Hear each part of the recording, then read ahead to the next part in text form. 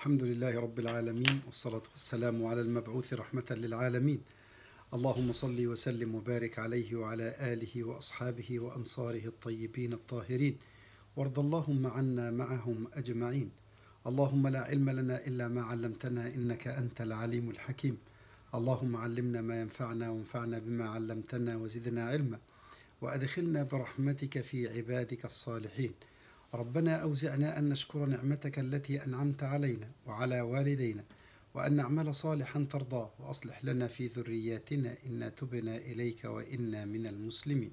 وبعد في شرح صحيح الإمام العلم الإمام البخاري رحمة الله تعالى عليه وصلنا إلى الباب السادس والخمسون بعد المئتين باب آذان الأعمى إذا كان له من يخبره.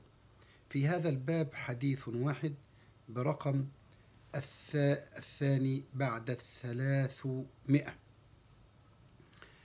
راوي الحديث هو عبد الله بن عمر رضي الله عنهما.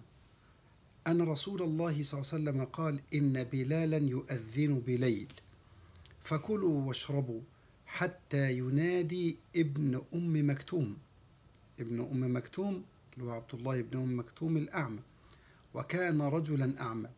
ولا ينادي حتى يقال أصبحت أصبحت. هذا الحديث يحدثنا فيه ابن عمر رضي الله عنهما أن النبي الكريم صلى الله عليه وسلم قال إن بلالا يؤذن بليل فكلوا واشربوا حتى ينادي ابن أم مكتوم. بلال يؤذن في آخر الليل قبل طلوع الفجر. الفجر له آذانان الأذان الأول قبل الأذان الثاني بحوالي أربعين دقيقة خمسين دقيقة. عشان ينبه النائم يوقظه وينبه القائم الذي يصلي إن خلاص وقت الفجر اقترب إذا كان سيصبح صائما أو كان في أيام رمضان يجهز للسحور. هكذا كانوا يفعلون. فقال إن بلال بيؤذن في آخر الليل قبل طلوع الفجر. هذا في الفجر الذي يسمونه الفجر الكاذب. أما موعد أذان الفجر الحقيقي اسمه الفجر الصادق. إيه الفرق بينهم؟ الاثنين خطين أبيضين الكاذب الفجر الكاذب والفجر الصادق في وسط السماء. لكن الفجر الكاذب يعقبه الخط الأبيض هذا يعقبه ظلمة الليل.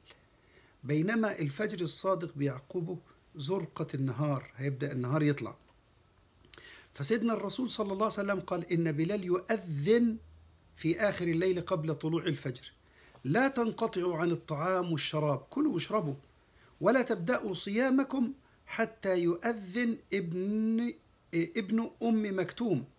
ليه؟ لأنه هو الذي يؤذن عند طلوع الفجر عند دخول الوقت تماما. وكان رجلا أعمى لا ينادي حتى يقال أصبحت أصبحت. لا يؤذن لصلاة الصبح. لأنه لا يرى حتى يتحقق طلوع الفجر. وينادي عليه الناس. ينادي عليه الصحابة.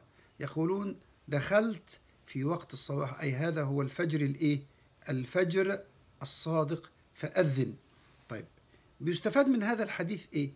جواز أذان الأعمى إذا وجد من يخبره بدخول الوقت. الحمد لله دلوقتي في ساعات وفي ألارم وفي منبهات وفي آب بينزل على التليفونات وفي كمبيوتر وفي ساعة أذان في منبهات كثيرة.